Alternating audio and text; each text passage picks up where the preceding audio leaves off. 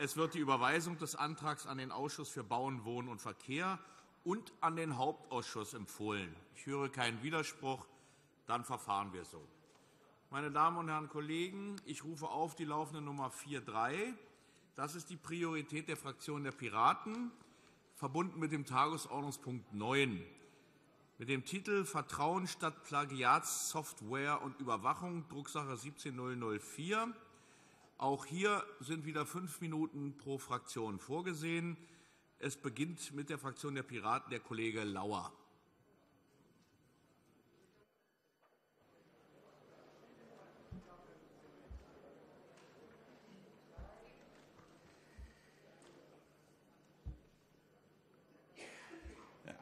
Sehr geehrter Herr Präsident, liebe äh, Kolleginnen und Kollegen! Ich freue mich auch, dass wieder mehr äh, äh, Mitglieder der CDU-Fraktion anwesend sind.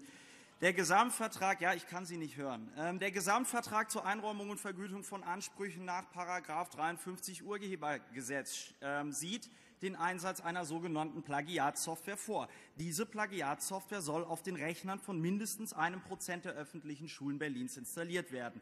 Das Ziel dieser Software soll die Überwachung von Schulnetzwerken sein, um den Urheberrechtsschutz der Schulbuchverlage sicherzustellen. Wer hat es gesagt? Aber es gibt diese programmierte Software. Danke, danke, danke. Ähm, das geht alles von meiner Zeit weg. Aber es gibt diese programmierte Software für die Überwachung noch gar nicht. Und wer hat es gesagt? Und nach der Vorlage der Software wird es eine ausführliche technische und juristische Prüfung geben. Und Sie können sich denken, wer hat es gesagt? Ja, das ist richtig. Es gibt einen Kühlschrank. Und Herr Kohlmeier sagte weiterhin, dass der Berliner Beauftragte für den Datenschutz und Informationsfreiheit sowieso einbezogen wird. Aber wann soll das geschehen? Vorher, nachher, mittendrin? Dieser Antrag der Opposition schafft Klarheit. Wir sagen, er soll jetzt einbezogen werden. Er hätte schon bei der Ausarbeitung des Vertrages einbezogen werden müssen. Ich habe mal wieder, ich habe mal wieder telefoniert das ist Wahnsinn. Also ich, Sie sollten sich diese Telefone auch hier in der Regierungsbank anschaffen. Was man damit erfährt, Sie glauben es nicht. Ich habe mal wieder telefoniert und erfahren, vielen lieben Dank, dass der Berliner Beauftragte für den Datenschutz und Informationsfreiheit Anfang November aus den Medien von dieser Software erfahren hat. Da war der Vertrag schon seit acht Monaten unterschrieben. Sapperlot so gut funktioniert also die Zusammenarbeit zwischen den Behörden in Berlin. Und der Vertrag spricht zwar davon, dass die technische und datenschutzrechtliche Unbedenklichkeit der Software vorausgesetzt sein muss, damit sie eingesetzt werden kann, aber der Vertrag spricht nicht davon, wer die technische und datenschutzrechtliche Unbedenklichkeit der Software feststellt.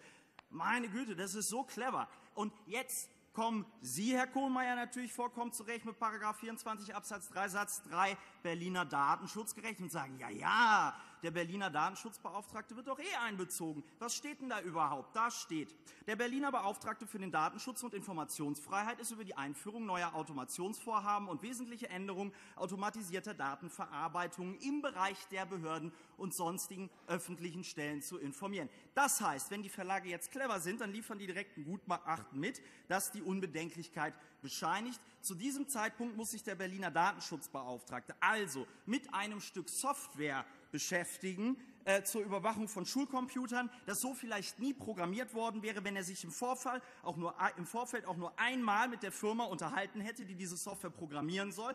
Äh, Sie wissen ja selber im Moment nicht, welche Firma da gerade am Werk ist. Und er muss sich möglicherweise mit einem mitgelieferten Gutachten und dessen Richtigkeit auseinandersetzen. Wir brauchen also eine Stellungnahme des Berliner Datenschutzbeauftragten vor der Programmierung der Software, in welchem Rahmen so etwas überhaupt möglich sein könnte. Ich vermisse hier auch insbesondere, deswegen freue ich mich, dass Sie so zahlreich erschienen sind, die Vertreter der CDU, die in puncto Datenschutz ja mal gerne, man darf nicht alles machen, was technisch möglich ist, schreien, wenn es medienwirksam ist. Wenn Google unsere Hausfassaden abfotografiert. Untergang des Abendlandes. Wie können die nur? Unsere Hausfassaden. Ja, aber wenn wir in unseren Schulen eine Software zur Überwachung von Lehrern und Schülern installieren, dann passt es wieder. Ne? Es sind ja keine Hausfassaden auf den Rechnern. Die eigentliche Frage aber, meine Damen und Herren, ist politisch. Will man eine solche Software überhaupt haben? Und ich denke, hier kann ich für die Piraten sprechen, wenn ich sage Nein. Und ich denke, ich spreche hier auch für den gesunden Menschenverstand, wenn ich sage Nein. Was treiben wir denn hier gerade für einen Aufwand, weil Herr Josef Erhard damals diese Überwachungssoftware-Paragraphen hat reinrutschen lassen? Sie können mir doch nicht ernsthaft sagen, dass es besser ist, die Schulen unter Generalverdacht zu stellen und sie dann zu überwachen, weil sie, einem, weil sie gerade keine bessere Lösung irgendwie parat hatten und äh, wie man digitalisierte Unterrichtsmaterialien äh, vergutet. Denn was ist diese Software denn eigentlich? Diese Software, meine Damen und Herren, ist eine Technologie, um verbotene Bücher zu finden. Sie lassen es zu, dass Verlage definieren, was sich auf Computern in Schulen befinden darf und was nicht. Sie lassen es zu, auf Schulrechnern Überwachungssoftware zu installieren aus privatwirtschaftlichen Interessen.